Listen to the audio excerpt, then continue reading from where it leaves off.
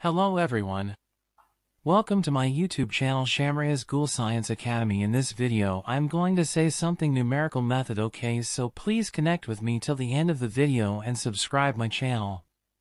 I upload numerical method with MATLAB coding and you will get more video for functional analysis etc.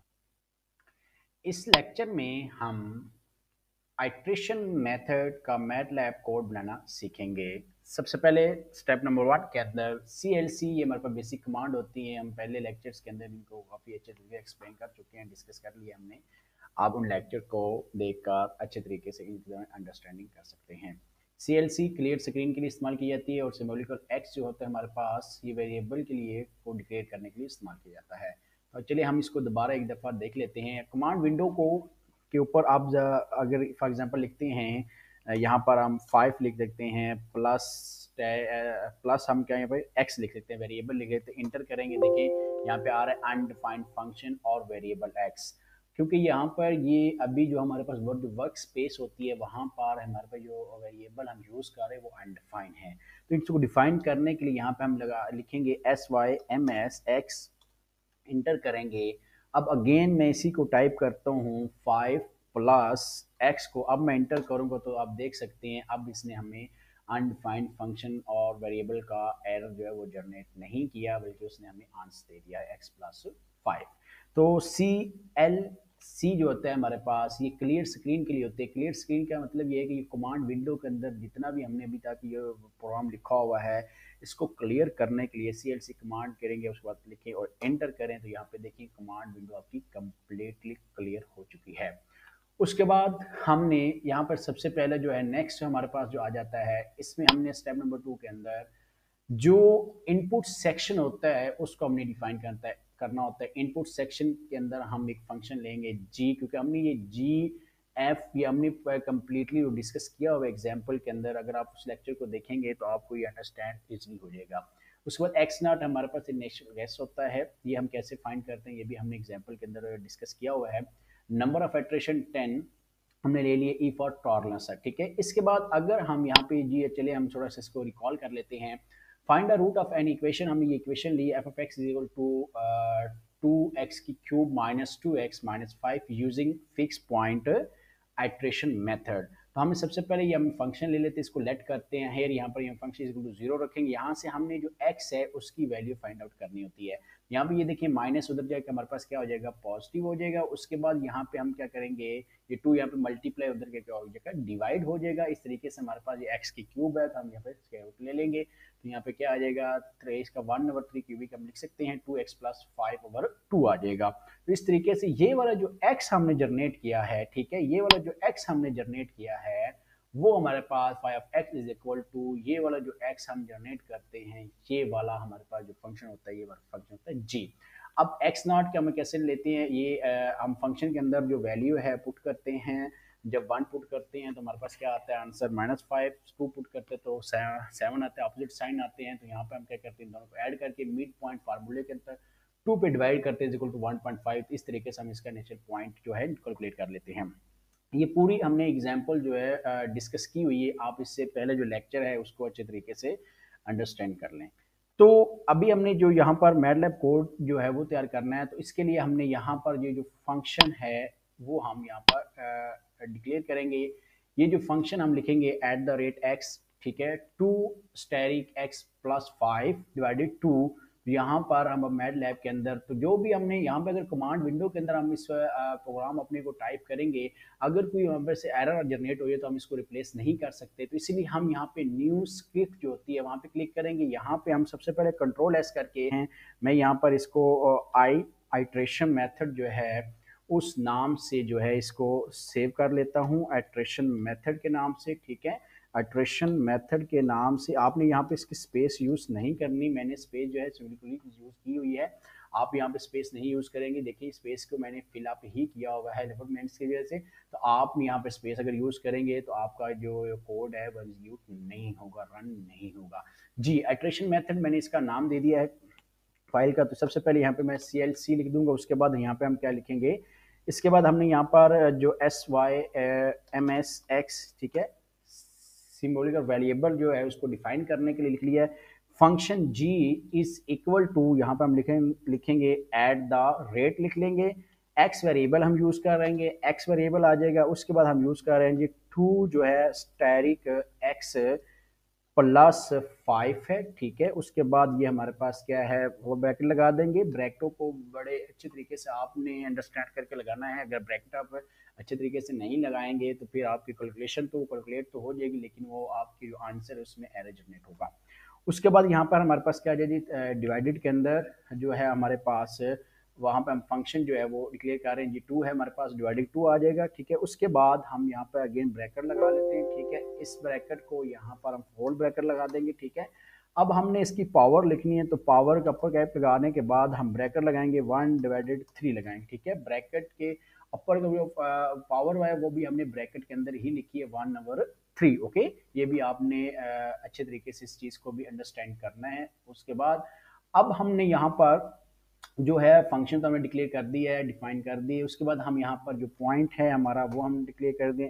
X naught ले रहे हैं जी हम is equal to one point five ले रहे हैं ठीक है? नंबर ऑफ़ इटरेशन में यहाँ पर जो है वो ट्वेंटी ले लेता हूँ फ़िलहाल ठीक है? और टारलेस अभी मैं जो है डिफाइन नहीं कर रहा। इसके बाद हमारे पास जो मेन यहाँ पे इसका जो कंडीशन होती है स्टेटमेंट होती है वो आ, इसकी जो मेन कंडीशन है, हम वहाँ पर, यहाँ पे वो अप्लाई करेंगे तो हम यहाँ पे एक जो फार लूप है, उसको इस्तेमाल करेंगे आई क्योंकि हमने एक्स नॉट लिया तो आई जो हमारे पास इक्वल टू वन होगा, उसके बाद यहाँ पे हम जो एक्स वन होगा, वो हम कैसे निकालेंगे? ये जो डेरिवेशन भी हमने पहले इसकी हम मेथड जो होता है, उसकी हमने डेरिवेशन भी ऑलरेडी की हुई है।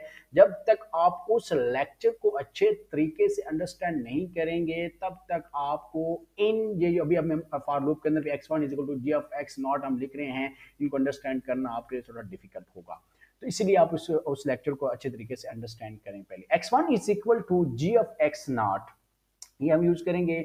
उसके बाद हमारे पास यहाँ पर क्या आ जाएगा? एक्स नॉट जो है वो अपडेट हो जाएगा। किसके साथ? एक्स वन के साथ यहाँ पर ये हमारा क्या हो जाएगा? एंड हो जाएगा, ठीक है? अब यहाँ पर हम इसको डिक्लेयर कर लेते हैं। यहाँ पर हम लूप इस्तेमाल करते हैं। फॉर लूप हम इस्तेमाल कर रहे हैं। फार लूप जो है हम यहाँ पर स्पेस दे लीजिए फार लूप हम इस्तेमाल कर लें। फार लूप आई जो है is equal to X naught तो वन से यहाँ के एन तक चलेगा।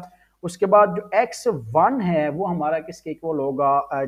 जी ऑफ़ एक्स नॉट ठीक है? कैलकुलेट करेगा।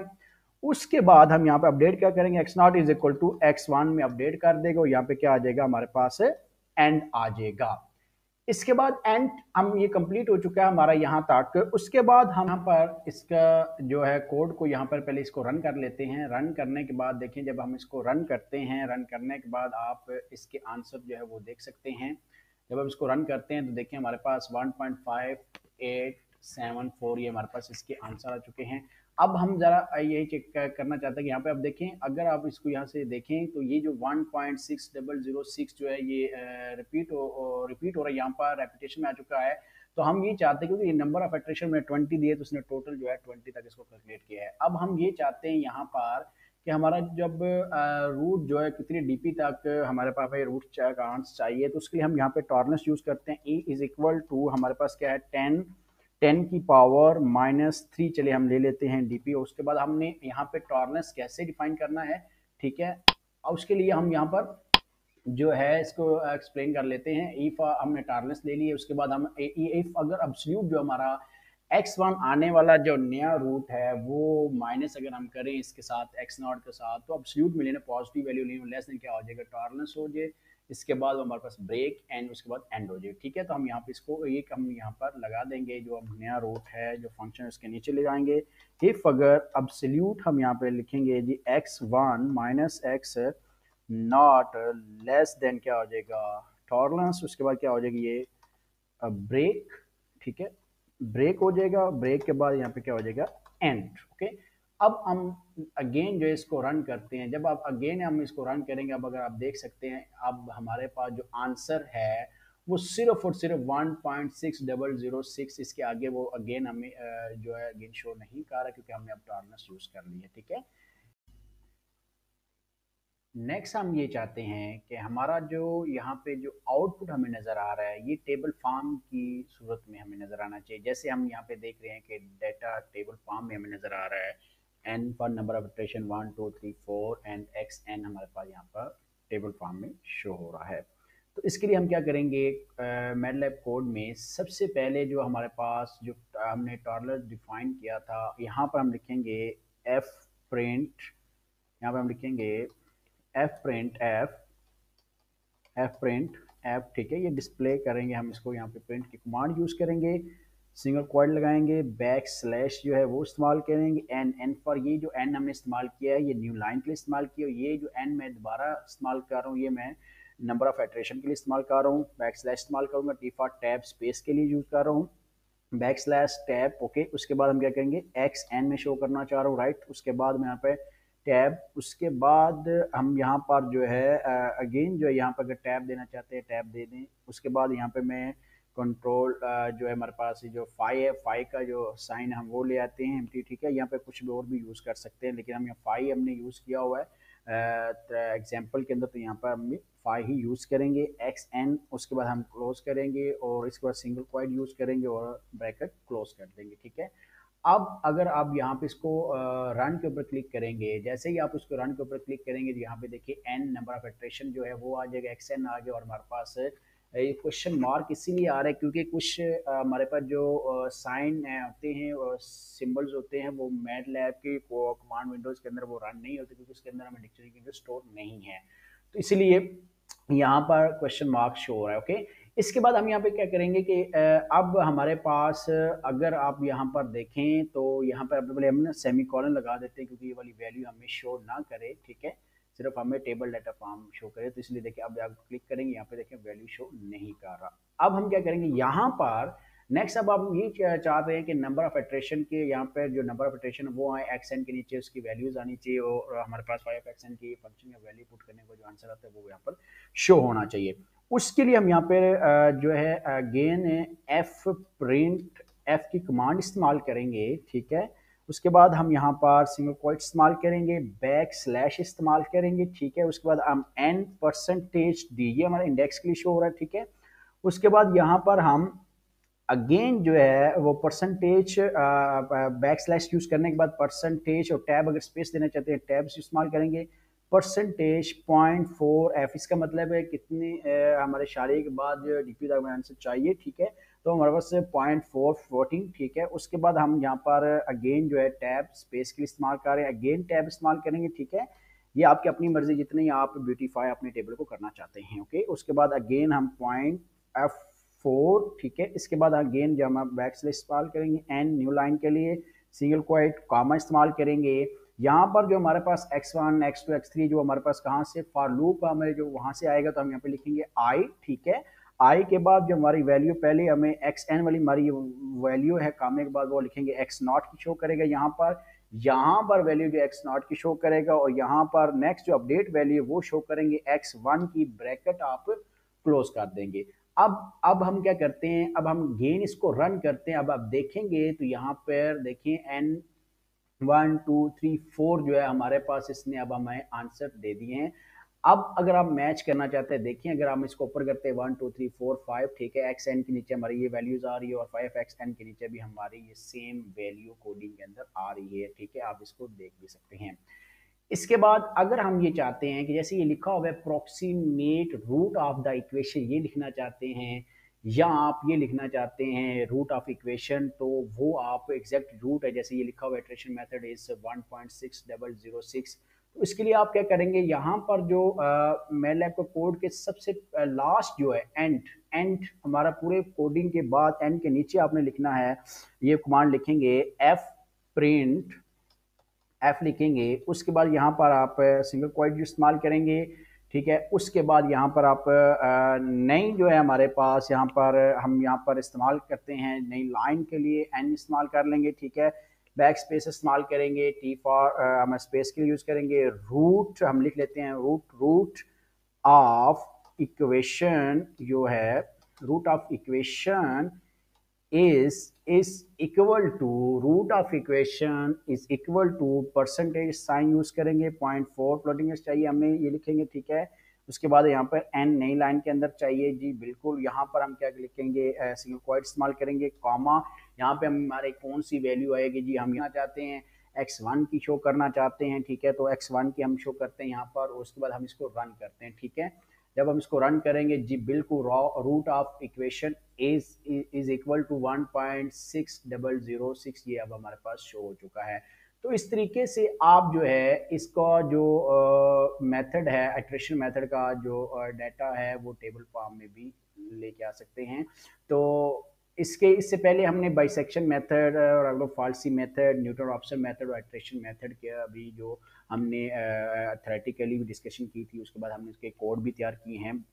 आज जो हमारा ये वाला मेथड था एट्रेशन मेथड जिसका हम फिक्स पॉइंट एट्रेशन मेथड भी कहते हैं, इसका भी हमने थ्रेटिकली भी पहले हमने डिस्कस किया, उसके बाद हमने इसको जो है मेट लैब के कोड भी तैयार किया है, पूरी स्क्रिप्ट उसके बाद हमने यहाँ पे इसका जो आउटपुट है, वो टेबल डाटा की फॉर्म में हम लेकर आए हैं।